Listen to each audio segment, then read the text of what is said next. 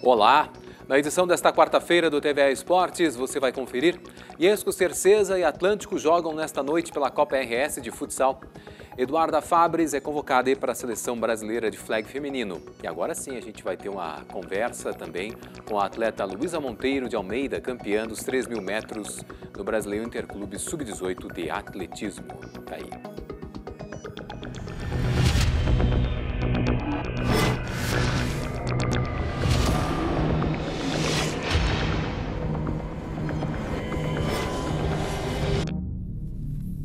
Bom dia, muito bem. A gente vai abrir o programa de hoje falando de Copa RS de futsal masculino. A competição, a competição começou aí no último final de semana e tem jogo nesta quarta-feira. A partida será entre Iesco Cercesa e Atlântico de Erechim. E o confronto será em Carazinho, a partir das 7h15 da noite no ginásio Seste Senat. Na primeira rodada, o Atlântico recebeu o Galvão Futsal. O Galo de Erechim não deu chances para os visitantes e bateu o adversário pelo impressionante placar de 13 a 4. Caixa, Richard, Neguinho, Taylor, PL, William, Cauê e João Paulo marcaram para o Galo. Wendel, Eto e Zoreia descontaram para os visitantes. O Atlântico está na primeira colocação do Grupo B. Pelo mesmo grupo, jogaram em Cachoeira do Sul, São José e Esco Cercesa. O time da casa saiu na frente com o gol de Maurício. A Iesco Cercesa reagiu no segundo tempo, com Joe e Bagatini virando a partida. E faltando apenas dois segundos para o término do jogo, o São José arrancou o empate com mais um gol de Maurício. No único jogo do Grupo A, a CBF visitou o Bela Vista Futsal em Montenegro. O time de Carlos Barbosa fez 9 a 3. A Copa RS é organizada pela Federação Gaúcha de Futsal e conta com oito participantes que se enfrentam em jogos de ida e volta na primeira fase. Os quatro melhores avançam para a semifinal e o campeão garante vaga para jogar a Copa do Brasil de 2024. Bom, agora a gente vai falar de atletismo aqui no TV Esportes, porque a gente está recebendo a Luísa Monteiro de Almeida, que é destaque do Brasileiro Interclube Sub-18 de Atletismo. Essa competição foi realizada em Aracaju, no Sergipe, e ela foi campeã na prova dos 3 mil metros. Bom dia, Luísa. Tudo Bom certo? dia, tudo certo. Maravilha. Foi uma prova de superação, né? Foi, uma, foi, foi com né? certeza. Tu que estava vindo de uma, de uma lesão, né, no é, calcânio. Calcânio esquerdo, calcânio. exatamente. É, não, é o calcanhar, é, né? Pra, calcanhar. Só para a gente uhum. ter, de maneira, ter uma ideia. Só para a gente ter uma ideia, qual é o, o, o, Realmente, é difícil de caminhar. Então, para correr, então, é mais Não, difícil ainda. É, né? uh... Como é que foi a recuperação, até mesmo para depois de ter um resultado como esse? Sim, sim, é. é. Era muito difícil, eu não conseguia pôr o pé no chão sem dor. Eu tive que ficar alguns momentos ali andando de muleta para não forçar, porque eu tive, eu descobri essa lesão no início de junho e faltava dois meses para o Campeonato Brasileiro. E era meu último ano desse Campeonato Sub-18. Então, eu fiquei muito com muito medo de não dar tempo, mas foquei muito na recuperação. Fazia fisioterapia duas vezes por semana, muito reforço muscular. E sem correr, sem nenhum impacto, durante um mês. E voltando muito aos poucos, porque essa lesão é uma lesão muito difícil.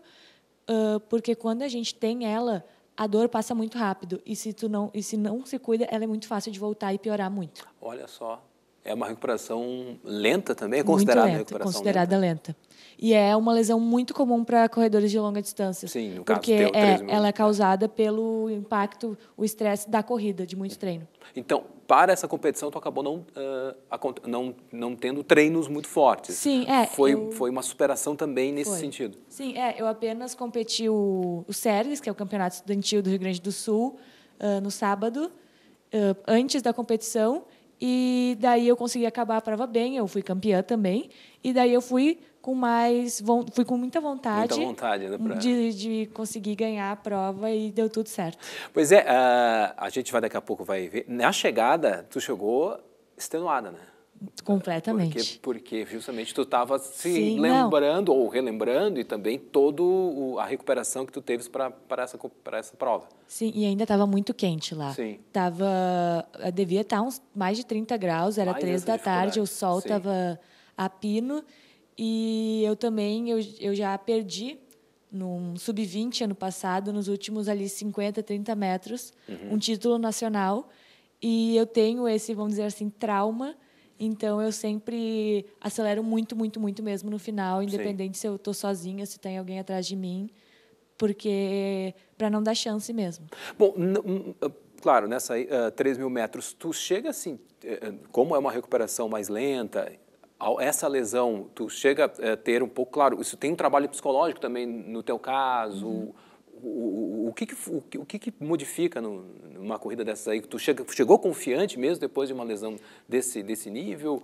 Porque, claro, tu veste uma competição estudantil, mas foi confiante? Não, eu fui confiante porque treino, assim, eu era a primeira do ranking brasileiro nessa categoria, nessa distância, e eu tô com uma boa diferença da segunda colocada, que foi a que ficou em segundo no, no, brasileiro também.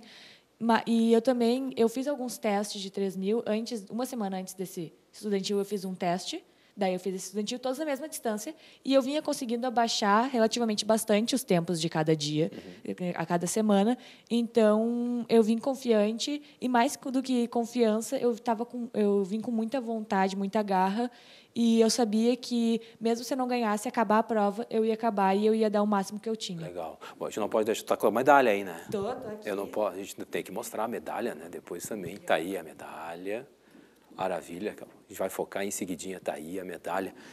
Maravilha. Bom, o teu tempo, né, foi 10, 10 58, 26. Isso. É, é longe do teu melhor resultado, que é, é. 10, 50 e... Não, 10, 36. 10 36, né? Isso. Em virtude da, em virtude da, da Sim, lesão. É. O, eu percebi durante a prova que o que me faltou foi realmente o treino ali no final, nas últimas três voltas e meia, quatro voltas, porque eu comecei a prova muito forte, mas eu não cheguei a cansar. Uhum. Então, foi realmente o, a parte do treino da resistência, que é a gente tem que fazer muito para treinar para essas provas um pouco mais longas. Sim. Bom, essa foi a última sub-18? Foi, infelizmente. Foi a última sub-18. Bom, e agora, a partir do o que, que acontece a partir de agora aí na tua trajetória? Sim, e até agora... mesmo esse ano 2023, o que está sendo esperado para ir na tua trajetória? É, agora a gente vai esperar sair a convocação, uhum. porque esse ano ainda vai ter o Ibero-Americano na categoria sub-18 no Peru, em Lima. Só que são apenas 20 vagas. Tá. E foram 36 campeões Sim. nesse brasileiro. Então, a gente vai esperar, é, estamos torcendo, estamos com esperanças de eu ser convocada para a seleção brasileira agora pela terceira vez. Sim. E também tenho, vou participar do estadual adulto, que, isso, que é competir com adultos agora em pista. É, é, modifica, né? Sim, sim. É, agora eu vou ir para o sub-20. Vai para o sub-20, né? Mas competir com adultos em pista foi uma coisa que eu ainda não fiz. Olha aí. É, é uma experiência nova e também continuar agora no dia do dia 2 ao dia 4 eu vou para Ribeirão Preto Sim.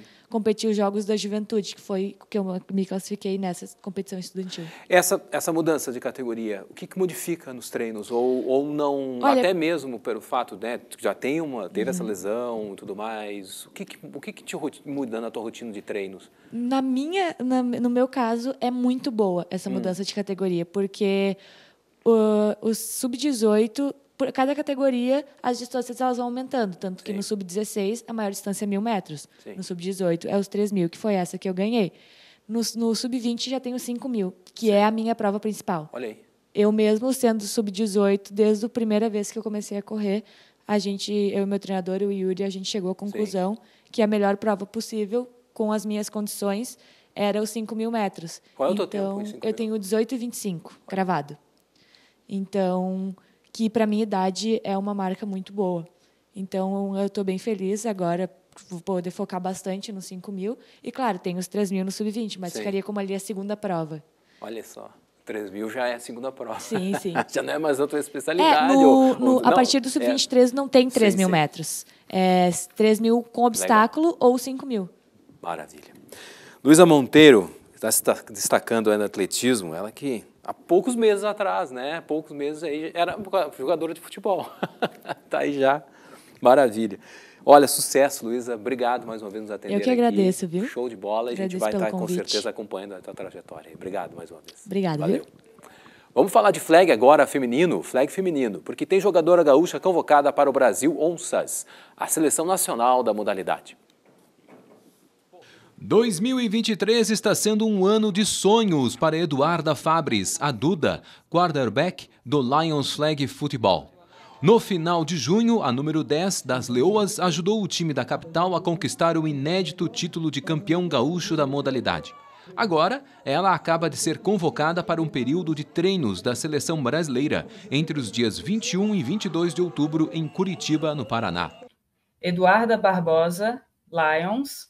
Uma estreia nas Onças, o apelido do time Brasil, que é comemorada pela Porto Alegrense de 26 anos. Eu fiquei muito feliz com a convocação. Sinceramente, me pegou um pouquinho de surpresa, porque eu nunca tinha tido contato direto com a comissão técnica da seleção. Então, eu não sabia se a minha performance no último campeonato ia ser o suficiente para chamar a atenção deles, a ponto deles me convocarem, né? Mas foi uma grata surpresa que veio para coroar não só o meu trabalho, mas também o trabalho de muita gente dentro da comissão técnica do Lions, que é o time que eu atuo desde 2020, em especial do meu treinador, o Adriano Souza Júnior, que me acompanha desde o início e entende muito futebol americano e basicamente me trouxe até aqui. Então não poderia deixar de uh, reconhecer a contribuição de todas essas pessoas. Uh, e também é legal porque a seleção brasileira de flag tem feito um esforço para incluir atletas de outras regiões que não só ali do Sudeste, especialmente São Paulo, como acontecia historicamente. Então eles estão fazendo esse esforço para reunir vídeos, olhar campeonatos a nível nacional, uh, para também uh, conseguir chamar jogadoras de outros estados e tá cada vez mais elevando o nível que a gente pode levar como Brasil para competições internacionais, né? Então, uh, eu tenho certeza que dessa vez, infelizmente, eu fui a única convocada aqui do Rio Grande do Sul, mas tem muita gente fazendo um trabalho muito legal por aqui e com certeza uh, no futuro isso vai resultar em muito mais convocações para o nosso estado. e agora eu fui convocada para participar do grupo que vai se preparar para o Mundial na Finlândia. Então, uh, agora é continuar trabalhando junto com a seleção para entender uh, como é que eu posso realmente conseguir a vaga para o Mundial, porque ainda vai ter um corte entre as atletas que foram convocadas agora para esse grupo, uh, para as atletas que realmente vão para o Mundial no ano que vem, em agosto de 2024. Então, acho que é isso, ansiosa aí pelo, pelo que está por vir. E... 58 jogadoras foram convocadas para as atividades na capital paranaense. São atletas que atuam em times de 10 estados do país, enquanto uma representa uma equipe do Canadá. Além dos trabalhos presenciais, a preparação para o Mundial finlandês também acontece de forma remota, com encontros táticos e de acompanhamento físico. Parabéns aí, Eduarda. Bom, a judoca Zênia Pires e Kátia Alves, ambas do peso pesado do Grêmio Náutico União, foram convocadas para a disputa do Pan-Americano Sub-21. Já a sojipana Sara Mendes foi chamada para a seleção Sub-18. As duas competições vão ser disputadas em Calgary, no Canadá. E aqui no estado, Sojipa e União dividiram o título estadual por equipes Chiai, é disputado, que foi disputado aí no último sábado em Campo Bom. A Sojipa também levou o troféu de campeão do torneio por equipes de Neuasa, que significa luta no solo. A competição reuniu centenas de judocas no ginásio municipal. No Chiai, unionistas e sojipanos dividiram o primeiro lugar com 115 pontos, conquistados com três ouros, uma prata e um bronze. A Gaba ficou na terceira colocação. A disputa por equipes de Neuasa foi realizado pela primeira vez pela Federação Gaúcha de Judô. Ao longo do sábado, os atletas também puderam participar da seletiva para os Jogos Escolares do Rio Grande do Sul e dos Jogos Universitários Gaúchos. Vamos ficando por aqui. O TV Esportes volta amanhã às 15 para o meio-dia. Até lá. Tchau, tchau.